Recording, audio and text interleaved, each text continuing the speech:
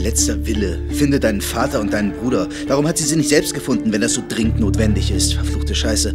Warum hat sie sich nicht ein bisschen um uns gekümmert? Kein Stein soll auf meinem Grab und mein Name nirgends stehen. Keine Inschrift für die, die ihr Wort brechen. Und ein Wort wurde gebrochen. Wenn die Umschläge ihren Empfänger erreicht haben werden, wird man euch einen Brief geben. Zwei rumrennen und schreien, Papa, Papa, wo bist du? Ich bin deine Tochter.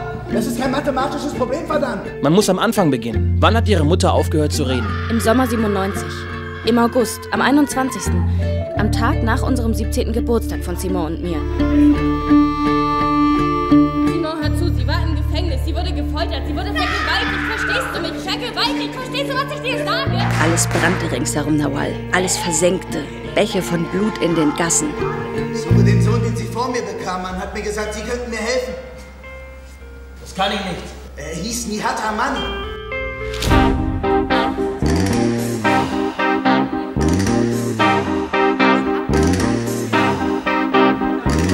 Wir sprachen ihren Namen nicht aus. Sie war die Frau, die singt, die Nummer 72, die den Chef der Milizen umgebracht hat. Das Land hat gezittert. In der Nacht, als sie gebar, war das ganze Gefängnis still. Sie bekam das Kind allein. Wir hörten sie schreien und ihre Schreie waren wie ein Fluch über uns allen.